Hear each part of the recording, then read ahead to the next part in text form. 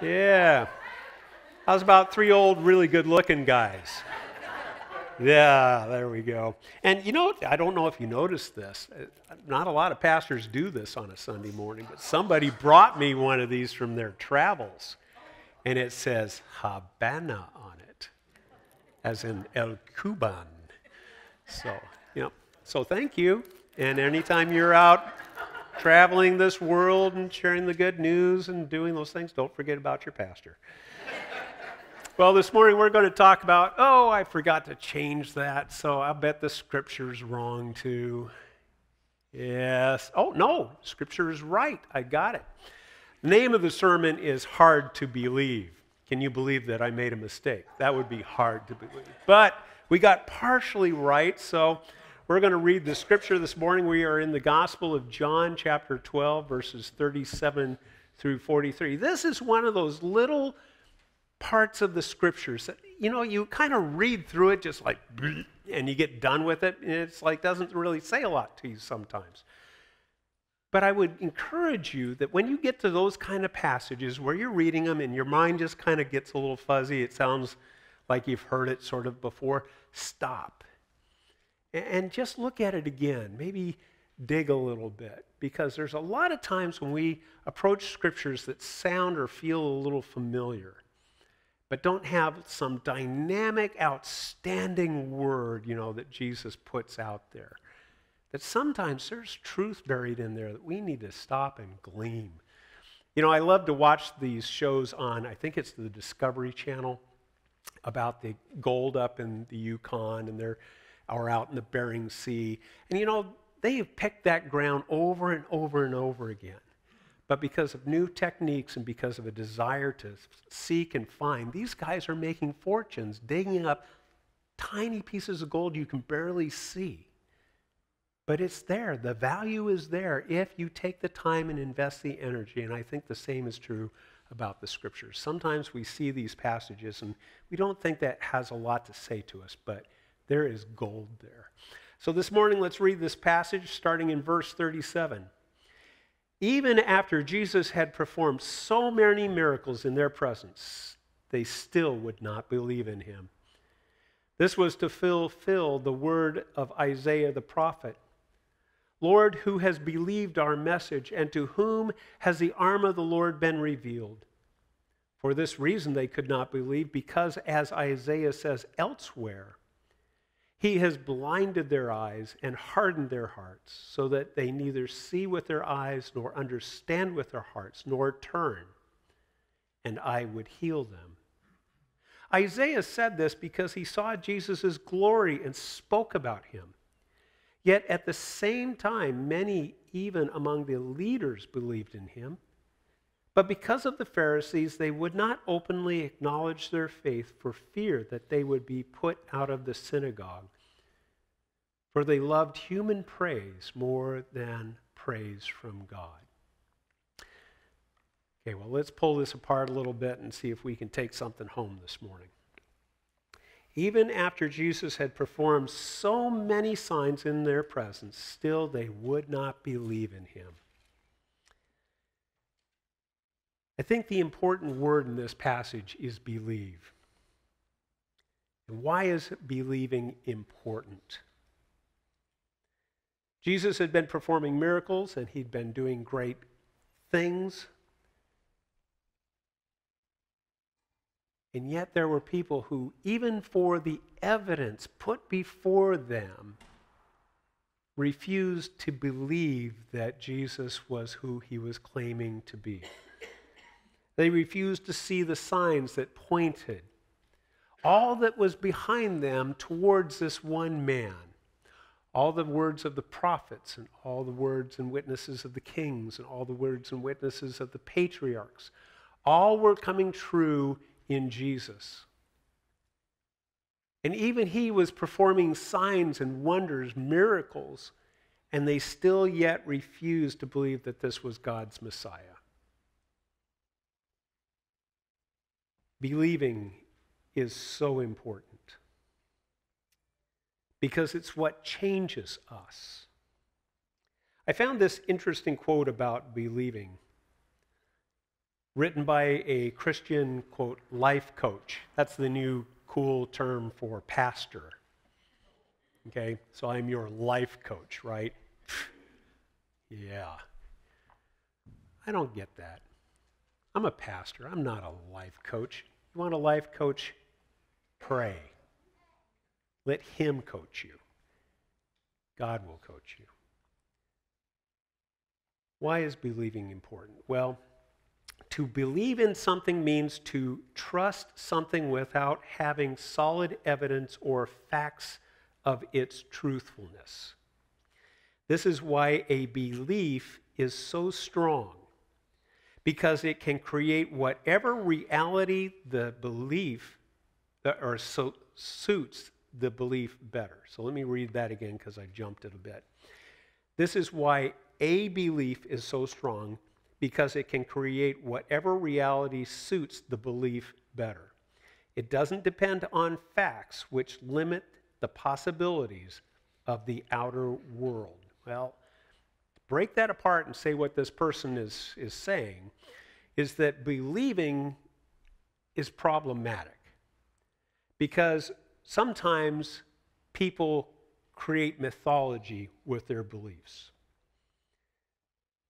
And they base it not on firm evidence or facts.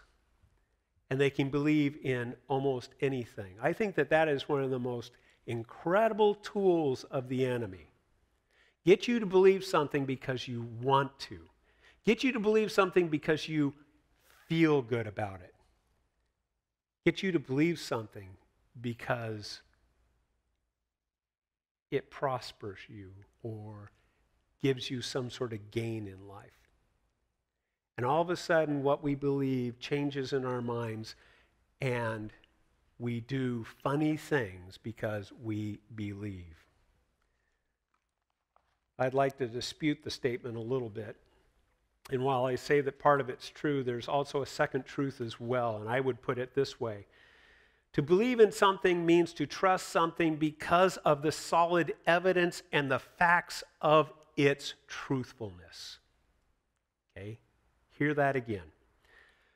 Believe in something, to believe in something means to trust something because of the solid evidence and the facts of its truthfulness.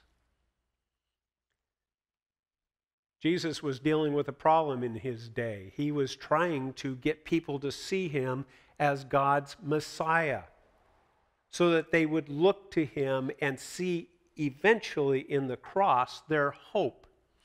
And through his resurrection, their being allowed into and become part of a kingdom that was greater, that they would give them eternity in the very presence of God because of the work Jesus was doing. And all it would be required was what? for them to believe in him.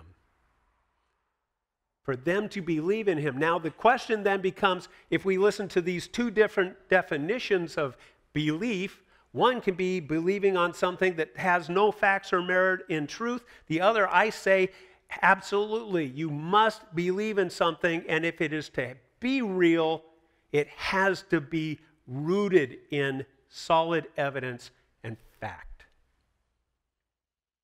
So when I say I believe in Jesus Christ to be the Lord, the Messiah, my Savior, I do that because I believe that there is solid logical witness and fact behind that statement.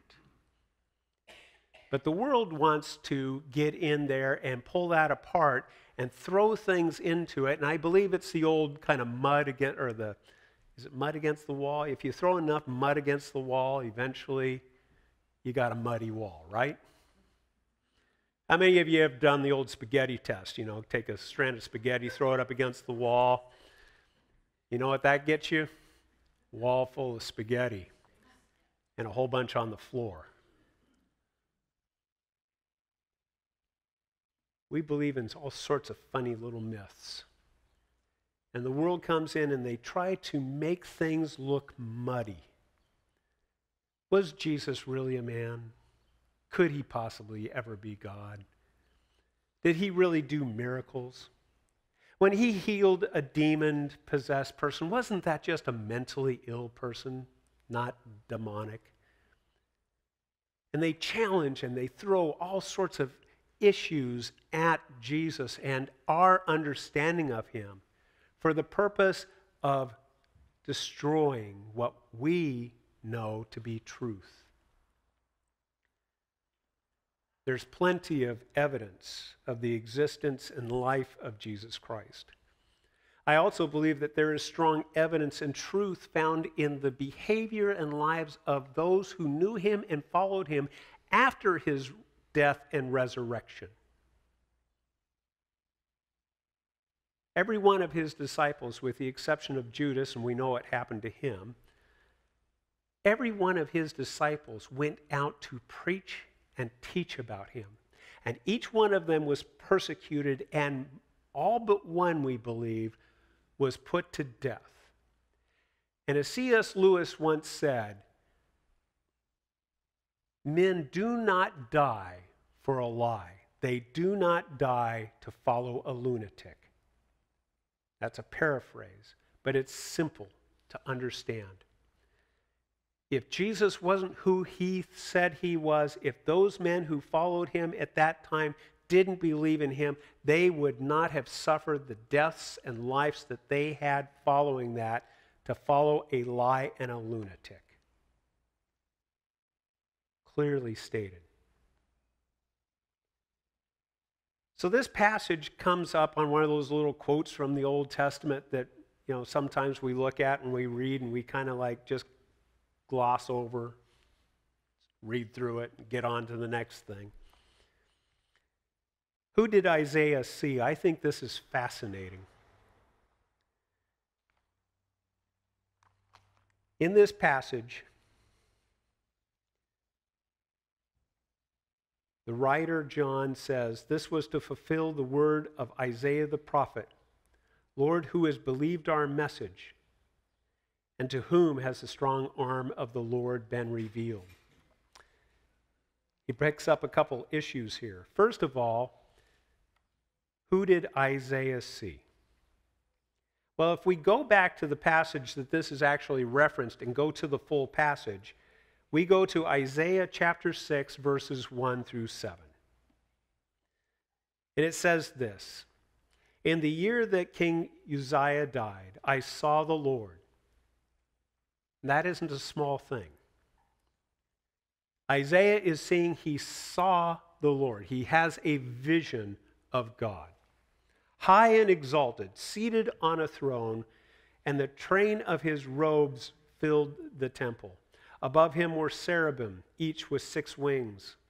With two wings they covered their faces, and with two they covered their feet, and with two they were flying. And they were calling to one another Holy, holy, holy is the Lord Almighty. The whole earth is full of his glory. At the sound of their voices, the doorposts and thresholds shook, and the temple was filled with smoke. Woe to me, I cried, I am ruined, for I am a man of unclean lips, and I live among a people of unclean lips, and my eyes have seen the King, the Lord Almighty. Then one of the seraphim flew to me with a live coal in his hand, which he had taken with tongs from the altar. With it he touched my mouth and said, See that this has touched your lips. Your guilt is taken away and your sin atoned for. This vision that Isaiah gets, if we think of our theology correctly, if we understand and place ourselves mentally in the right place, the truth we believe in is that we believe in a triune God, the Father, the Son, and the Holy Spirit, who is eternal from beginning to end, the Alpha and the Omega. So when Isaiah looks upon this throne, who does he see? He sees the Lord in his fullness, his completeness. And somehow in that mystery, he sees Jesus Christ because he is there present as part of the Godhead. I believe that Jesus was from the beginning and will be to the end. That this Jesus, whom people are finding hard to believe in, was there from eternity, is here in this moment with Isaiah. And it's only through Christ that forgiveness can be achieved. There's a cause for blindness. For in this passage it says that they are unable to see. As we pick up in verse 39 from our scripture this morning, for this reason they could not believe, because as Isaiah says elsewhere, he has blinded their eyes and hardened their hearts so that they can neither see with their eyes nor understand with their hearts, nor turn, and I would heal them. That particular passage is from the next little section in Isaiah chapter 6. I'd encourage you to go home and read Isaiah. It's probably one of the most beautiful books in the Old Testament. So, picking up in verse 8, it goes on and says this in Isaiah chapter 6 Then I heard the voice of the Lord saying, To whom or whom shall I send? Who will go for us? And I said, Here I am, send me. And he said, Go and tell this people be ever hearing, but never understanding. Be ever seeing, but never perceiving. Make the heart of this people calloused. Make their ears dull and close their eyes. Otherwise, they may see with their eyes and hear with their ears and understand with their hearts and turn and be healed. When I think about what this passage is saying, this puts it on us. You might hear it a different way, though. God dulls their hearing, God dulls their eyes so that they can see and not see, hear and not hear. And I think that this is where we have to be mindful and thoughtful about believing. And not only that, but our role in pronouncing. Isaiah is standing in front of God, and God asks this question Who will go on our behalf and speak for us? Whom shall I send? God is sending his word into the world through Isaiah. He will bring the world the word through Jesus Christ. God is sending, he has made the truth be known. It's there, and it's been repeated throughout the centuries and demonstrated through the person of Christ. God has done that. So it is no fault of God's that people forget to hear, or better yet, to listen. It is not to blame God because people choose not to see. In fact, in order to sort of have a righteous judgment on this, God sends his prophets, God sent his son, and proclaimed again and again this message that if you turn to me, if you love me, if you follow me, I will hear you. But have you ever preached to deaf ears? I've got three of them in my household. One's 16, one's 10, one's 9. I can tell them life will be so much better for you if you will do X, Y, or Z, right? How many of you in this room had a parent who said the same thing to you and you had to go through and learn the hard way too? You know, your life will be so much better if you pick up your room. You'll be able to find that coat that you're missing right now and you're crying about, right? If you do your homework when you get home right away, evening you can sit and watch TV instead of crying and whining because you can't see your favorite show because you've got homework to do. Right? If you mow the lawn early on Saturday, you've got the rest of the day to go fishing.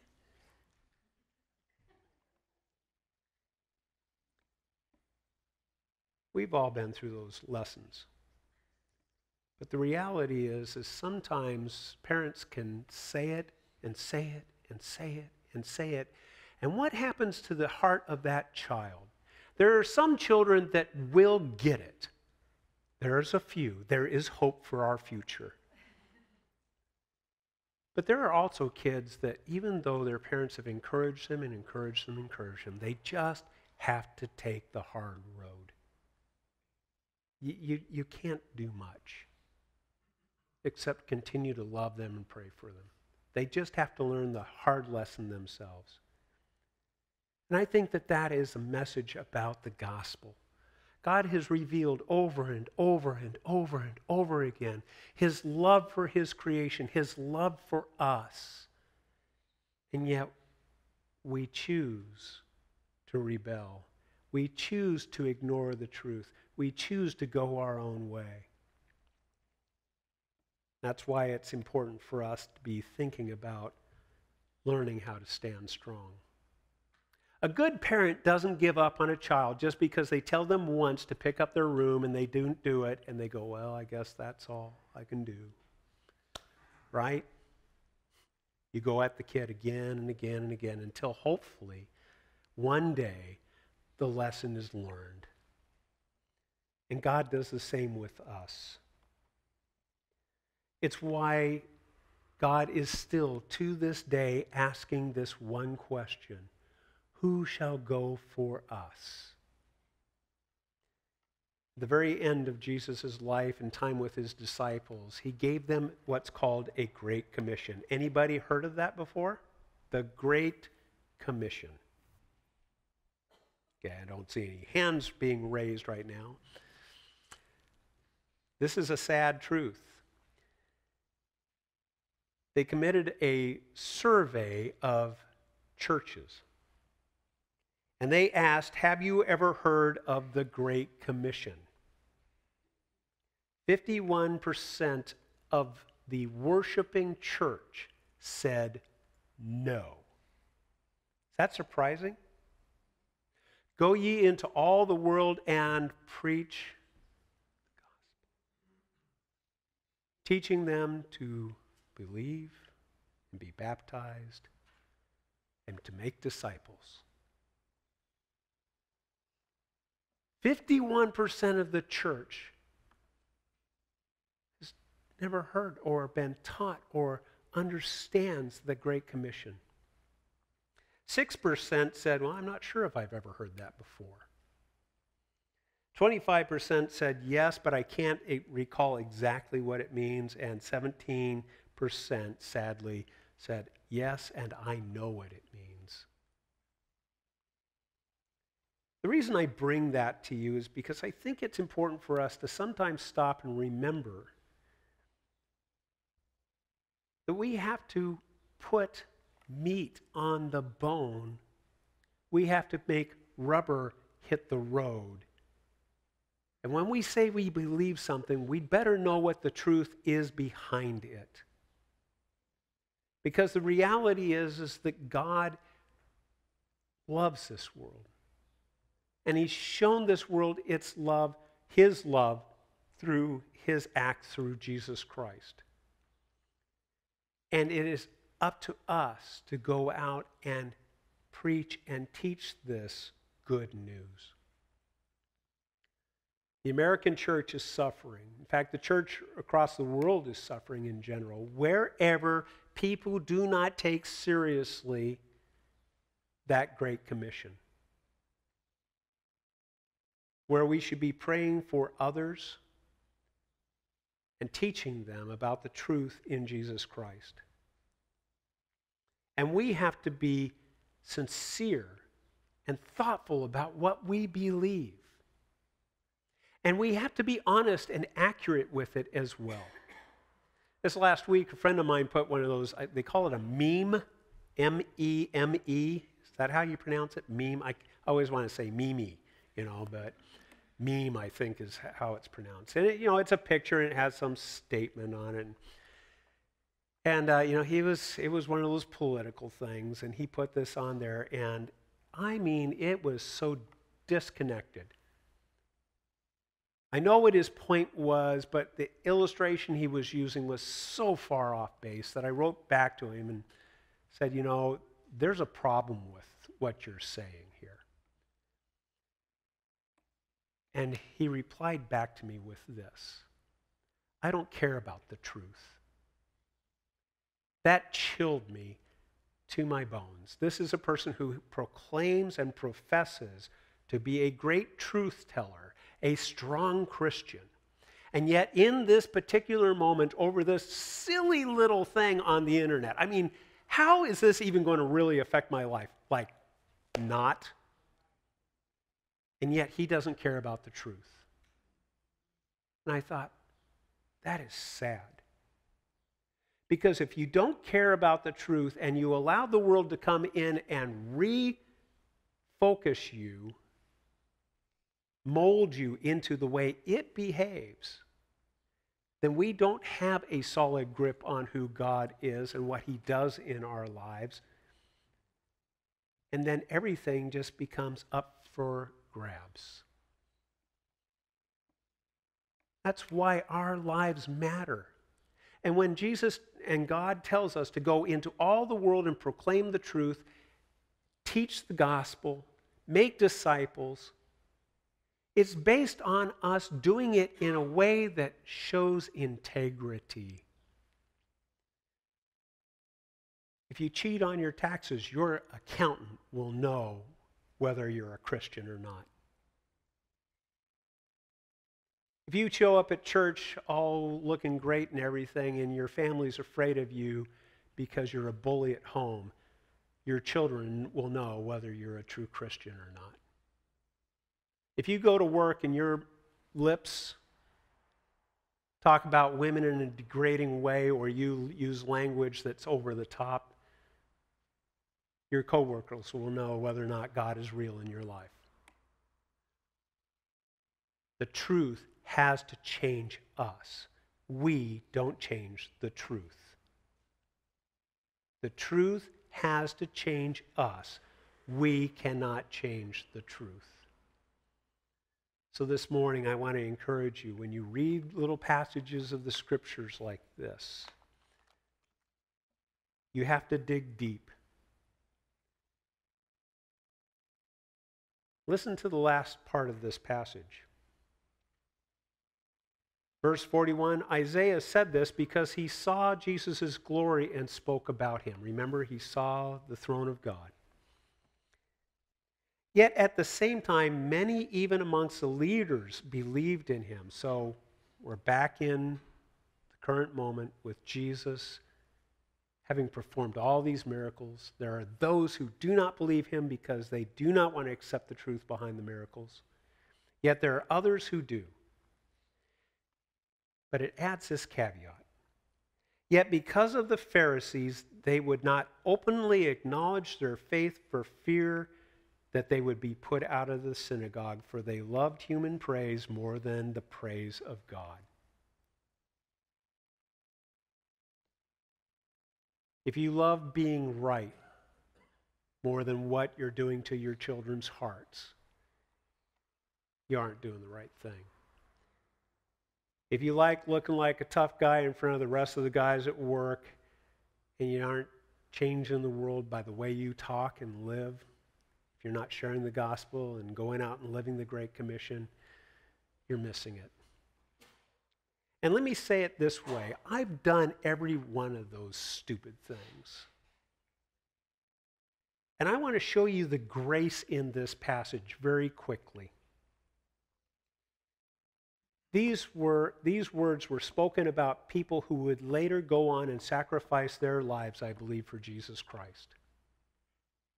Peter stood outside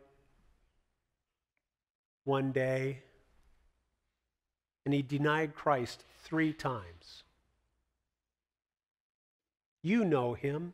No, I don't. You were with him. No, I wasn't. You're one of his guys. No, I'm not. Yet Peter grew to become one of the strongest witnesses and changed the world. We may not always do it right, and we may need time, but God's grace, love, and mercy, if we will stick to the truth, will bring us through in the end. And who we were when we were 25, and who we were when we were 35 and who we are when we are 65 and or 85 is going to be very different. The question is, are we growing in grace and truth and are we believing in the one whom God has sent? Be strong, even in your moments of weakness. Be filled with grace and let the truth speak for itself. And go out and share this good news with someone else. Let's take a moment to pray. Father, thank you for your love for us and thank you for your love for your church. Lord, help us to learn more about you in each and every day. Help us discover you and the truth about you, and not to let the world paint its mud onto that picture, but Lord, help us to be people strong in our faith, convinced of what we believe, and believe in the truth that you've shown to us. So that we can go out and share it with a world that so desperately needs to hear it. Help us to be strong in our faith and our convictions, gracious in our words and our acts of kindness and love that might show others the good news and the hope that we have in Jesus Christ. Take us from this place, Father, in your strong word and encourage us with your grace and your love. These things we ask in Jesus' name. Amen.